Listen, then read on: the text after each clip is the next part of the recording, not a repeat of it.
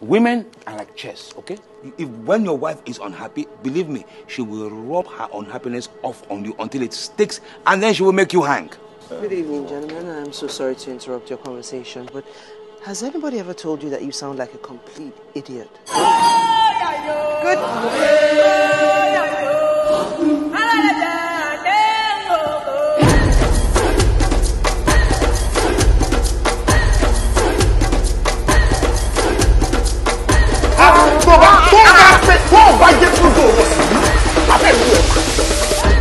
Wọnú pop.